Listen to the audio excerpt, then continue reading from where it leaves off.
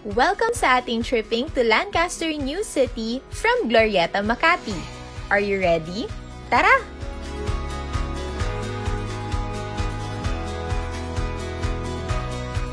Ito po ang MRT Ayala Station along EDSA. This connects commuters from Marikina, Cainta, Quezon City, and Manila to the Central Business District ng Makati. For this tour, we will take the Skyway, an elevated road network that connects BGC, Makati, Manila, and the south of Metro Manila to Cavite. Nariyan sa kanan ang Resorts World Manila at upscale hotels. Yang nakikita nyo sa kaliwa ay ang NAIA Terminal 3. Yan ang newest and largest airport terminal that hosts international and domestic flights. Andito na po tayo sa toll plaza ng NAIA X.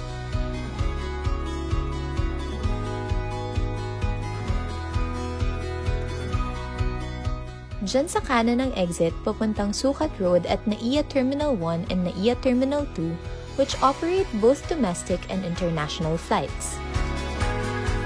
Straight ahead po ang NAIA X exit to Cavite. When you take the road on the left, mapupunta kayo sa Makapagal Boulevard near SM Mall of Asia o sa Entertainment City where City of Dreams, Soler, and other hotel and casinos are situated. We are now approaching Cavitex, a well-maintained road that connects NAIAX to Cavite. Sa kanan ay ang Paranaque Integrated Terminal Exchange o PITX, may mga bus dyan papunta sa mga important Metro Manila at South Luzon destinations. Lancaster New City has its own lane there. Halos every hour, merong bus papuntang Lancaster New City.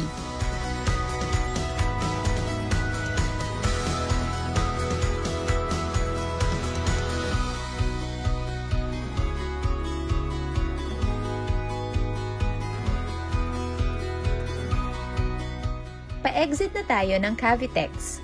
Mula rito, madali na ang Palancaster New City. Pero mas bibilis pa ito when Calax is completed by 2022. The construction of Calax o Cavite Laguna Expressway began in 2017. Ito ay isang tolled expressway that will connect SLEX and Cavitex. Ang starting point ng Calax ay dyan sa intersection ng Centennial Road and Tirona Highway. Dito naman ang Kawit Interchange ng Calax.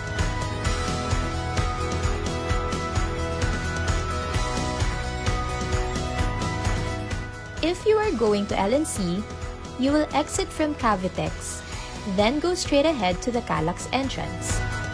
Then, you will pass through Kawit Interchange. And you will exit at the next interchange, which is at Open Canal Road. Ayan! Naka-exit na tayo ng Calax via the Open Canal Interchange. Nandito na tayo sa Shell Station na malapit sa Lancaster New City. Super lapit na lang ng Lancaster mula rito.